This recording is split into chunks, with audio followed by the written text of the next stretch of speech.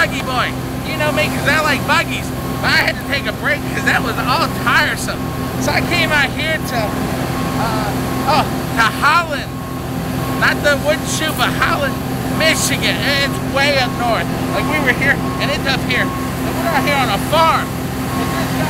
This is a big, the, the big machine goes, wah, wah, wah, wah, wah, and it chews up all the stuff in the hole.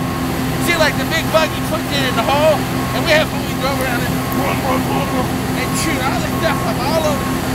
And he's putting it in the hole, and we got fun because that, that's where they make uh, uh, corn, like corn on the cob, blah, blah, blah, blah, blah. So we're gonna have more fun, and then we'll be back to Tennessee so we can wrestle some more. Because I got a new move. It's called the combine. That's what I gotta do. So bye, everybody. Have fun.